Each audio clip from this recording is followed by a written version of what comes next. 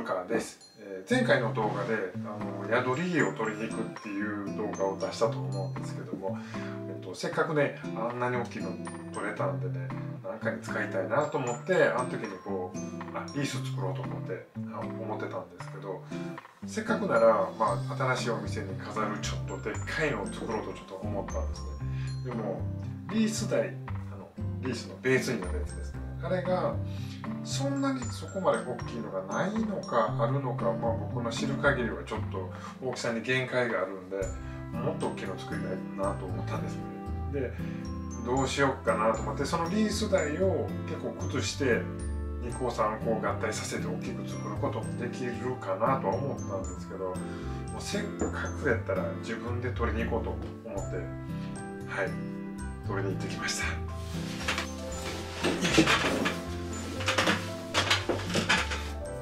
はい。そしたらこんな感じの、はい、リースになリース台になっています。一応ねえっと2つ用意しましてはいこれにつけていきたいと思うんですけれどもせっかくねちょっと撮ってきたんでねあの動画撮ろうと思ってこれに収穫のね、えー、映像も撮ろうと思ってあのってきたので、えー、今日は、えーと、その収穫の瞬間動画っていうのを流しまして次回作る動画を上げたいなと思ってますので前編後編に分かれておりますのでよろしくお願いします。じゃあ、えー、早速はい見ていきましょう。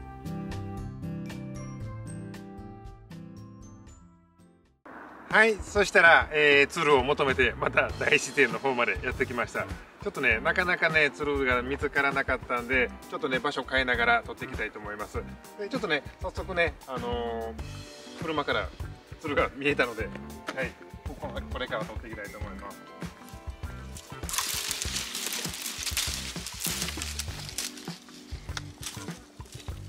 結構ね普通の枝に巻きついたりしてるんでちょっとあの枝と見分けがつきにくいんですけどまあこんな感じのこれをちょっと集めていきます。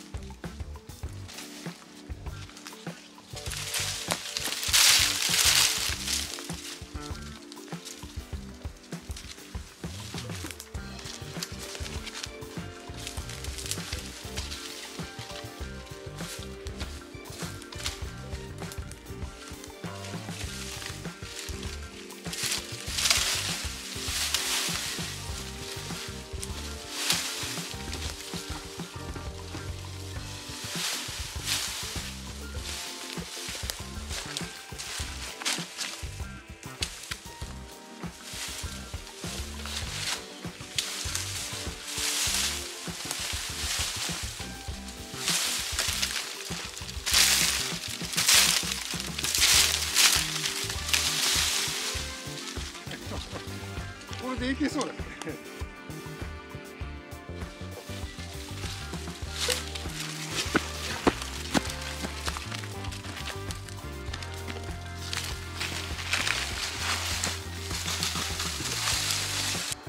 そしたらねもうここで、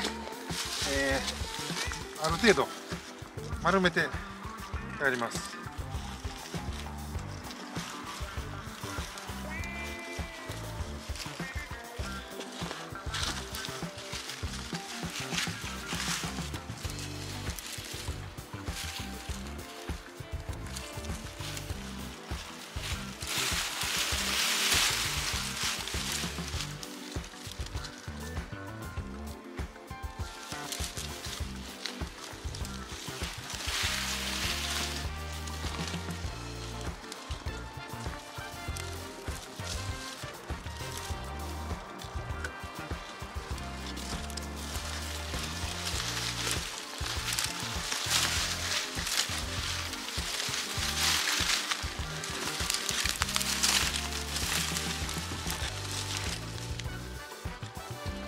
後でねまた葉っぱとか落としたりとかし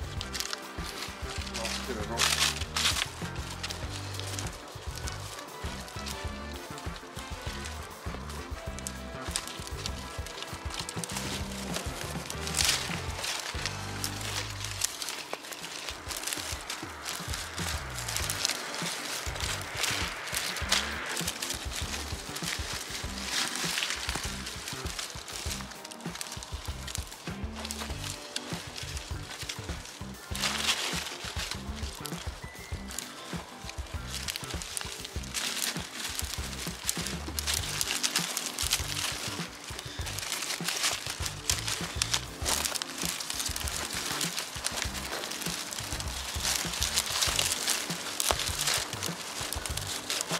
ワイヤーとか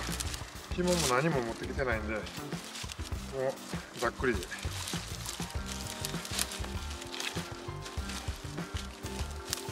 じゃあこんな感じで。はいえっ、ー、とちょっとねあれあれでもう帰ろうと思ったんですけどねすごい良さそうなツルを見つけたんでえっ、ー、とちょっと見ていきたいと思います。なんかねツルこう普通にあるようであのもう結構音としたか古いのだったらね柔軟性がなくなっててバキバキになるんですけど。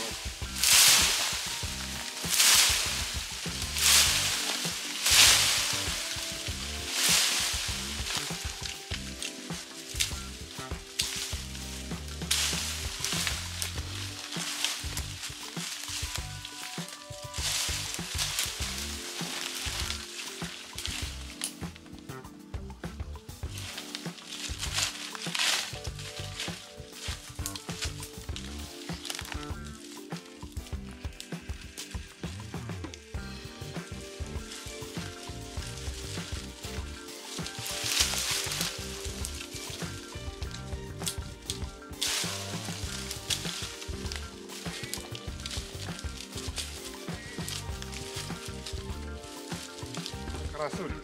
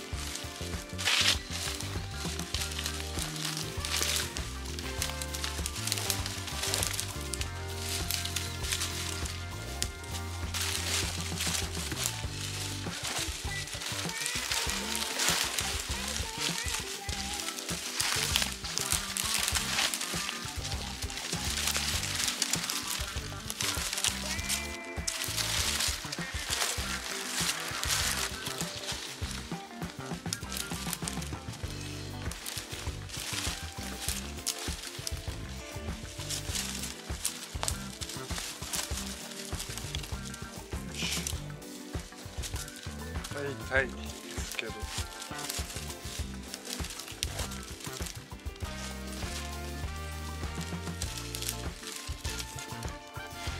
はいもう大体ですけどこんな感じで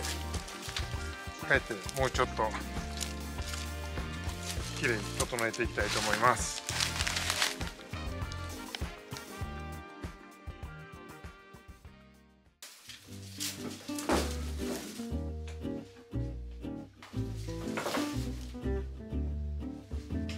はいそしたら戻ってきまして、えー、これが1個目でこれが2個目になります。ちょっと大きくてね入りきらないんでまあもうこんな感じにこんな感じになりますけども。ちょっとね軽く掃除していきたいと思います。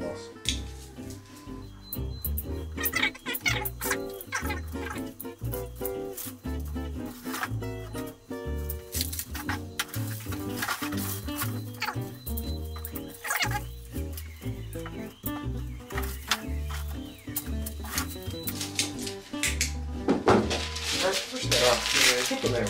ワイヤーで固定していきたいと思います。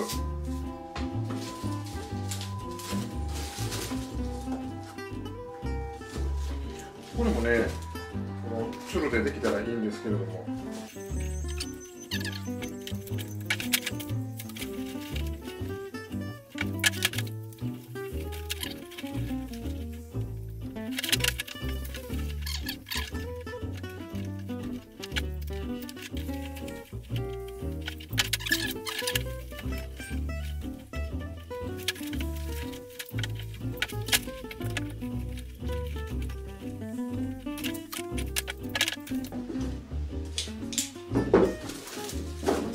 はいじゃあ1個目完成です。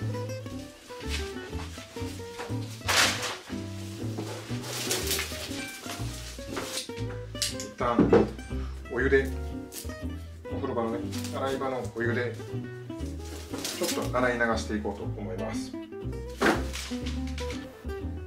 はいそしたら流していきたいと思います。